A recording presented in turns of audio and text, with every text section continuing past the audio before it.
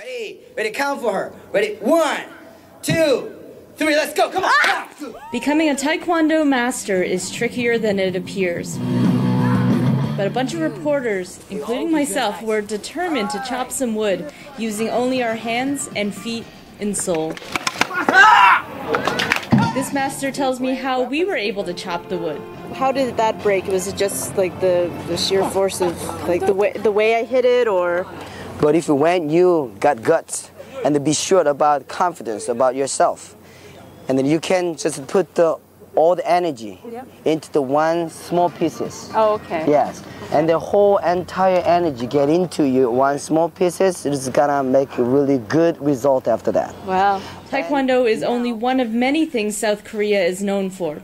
The country is also known for its restored palaces and preserved folk villages. So we're here in the city of Yeoju in South Korea, and right behind me is the final resting place of King Sejong the Great.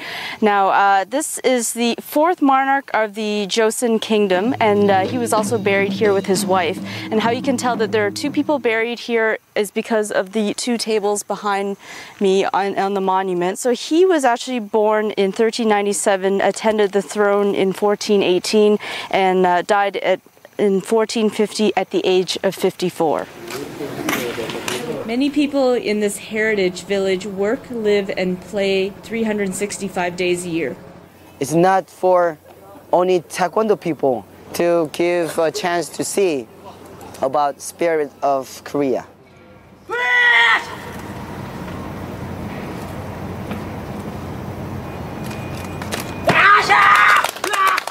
For Toronto Sun, I'm Jenny Yuen.